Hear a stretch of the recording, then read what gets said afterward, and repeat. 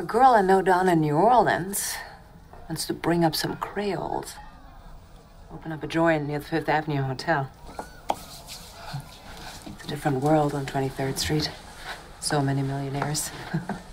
Before the war, there were just a few. Now there's gaggles of them. Would you like to get rich with me, Corky? What do you mean by that? Nothing. Just a pipe dream. For your captain. Yes. There's a body in Cow Bay.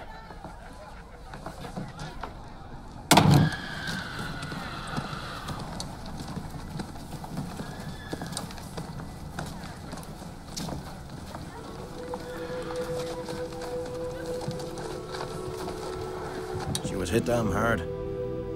Feeling all right, Kevin? Why would I be feeling all right looking at a dead child? We'll take her to O'Malley's mortuary.